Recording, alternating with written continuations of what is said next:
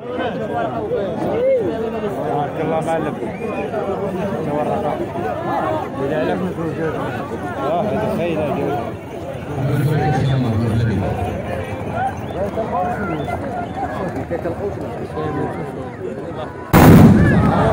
you.